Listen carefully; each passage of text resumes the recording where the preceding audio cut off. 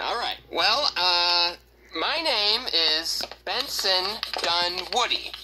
You can call me Benson or Mr. Benson. I was told you already have English names, so we'll start with the class list. Kobe. Present. LeBron. Present. Apple. Present. Rigby. Yeah! Rigby, what are you doing here? I need a foreign language class. You're teaching a foreign language class. It's really the most convenient option. How did you even get here?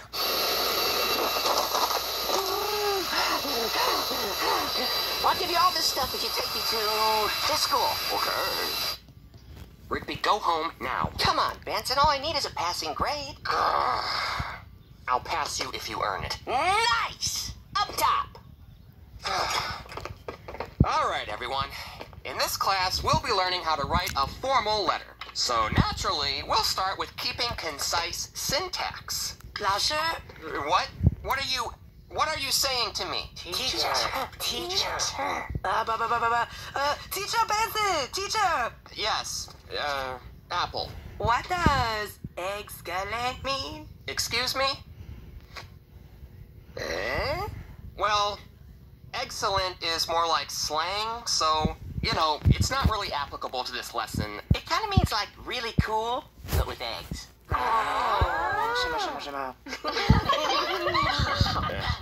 Well, uh, maybe if we have time at the end of class. Rigby, do you have girlfriend? Why, yes, I do, Kobe. Wow.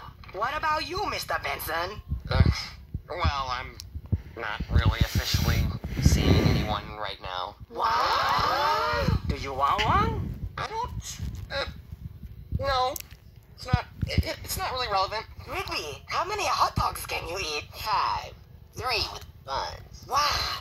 Me too. You're pretty excellent, Rigby.